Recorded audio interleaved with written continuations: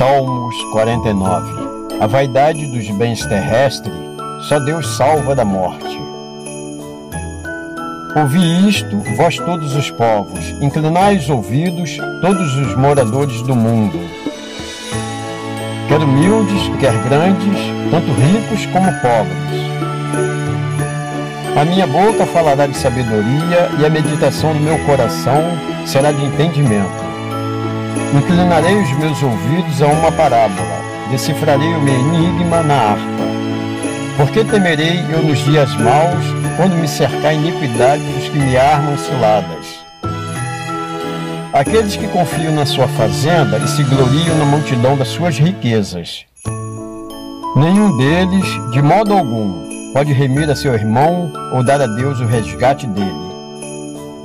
Pois a redenção da sua alma é caríssima e seus recursos se esgotariam antes.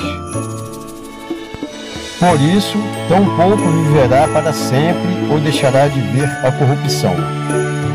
Porque vê que os sábios morrem, que perece igualmente o louco e o bruto, e deixam os outros os seus bens. O seu pensamento interior é que suas casas serão perpétuas e as suas habitações, de geração em geração, dão as suas terras os seus próprios nomes.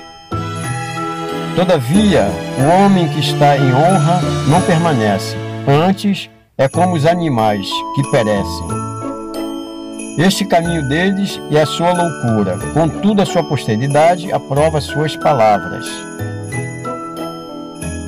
Como ovelhas são enterrados, a morte se alimentará deles.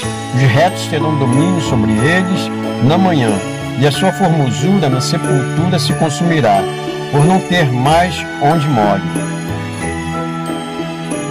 No mais, Deus remirá minha alma do poder da sepultura, pois me receberá.